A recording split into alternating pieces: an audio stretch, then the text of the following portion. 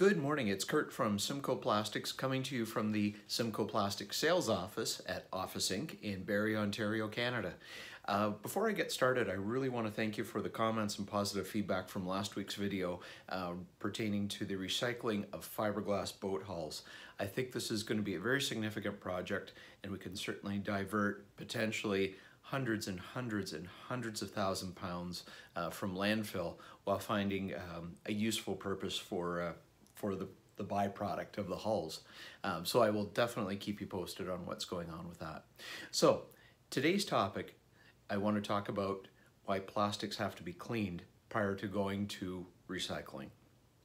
So when uh, plastics are put in the blue bin, your municipal blue bin, and they're uh, they're sold to the companies that actually do the reprocessing, um, many of them do have wash lines and can do some rudimentary washing.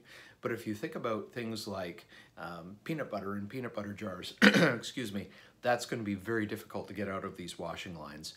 And those particular items with food or other contaminants that can't be removed get diverted and they still go to landfill. Um, so if you could just take a few minutes and clean up the plastic before it goes in the blue box, and if there are paper labels even if you can remove those because that makes it very difficult to uh, to properly recycle. That certainly helps our friends a few steps down the stream um, with uh, with their job and ensuring that we can have good good clean reprocessed material to go back into industry.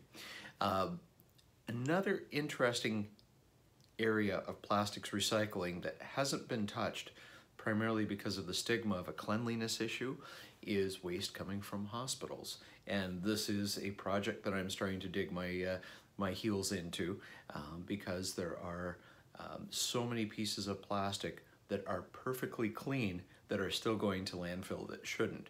Um, so in that kind of setting, um, hospital waste that has had patient contact where it becomes a biohazard, we, we can't do anything with that in terms of recycling.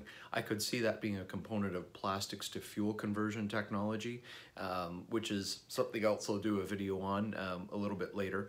Um, but there are so many aspects of um, plastic that go into hospitals for things like, oh, I don't know, uh, uh, sterilized water bottles sterilized water used to irrigate wounds. It's a glorified water bottle and it's not being recycled because of the stigma associated with it coming from the hospital.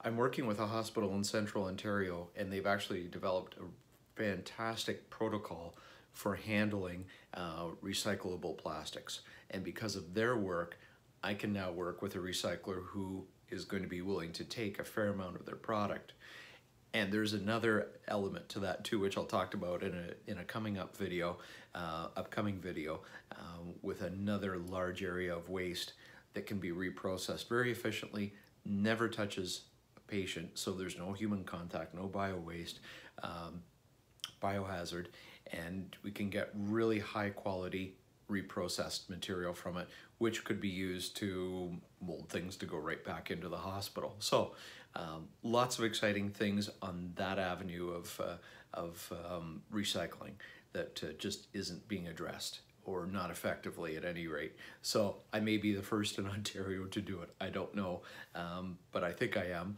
And uh, hopefully in the weeks and months ahead, there's going to be some exciting news to report on that particular project.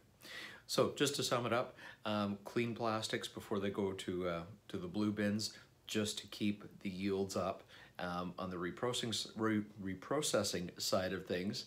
And uh, that really helps the, uh, the process along. So please do that. And uh, until next week, um, protect your playground, have fun, think recycling, think green. Thanks. Bye-bye.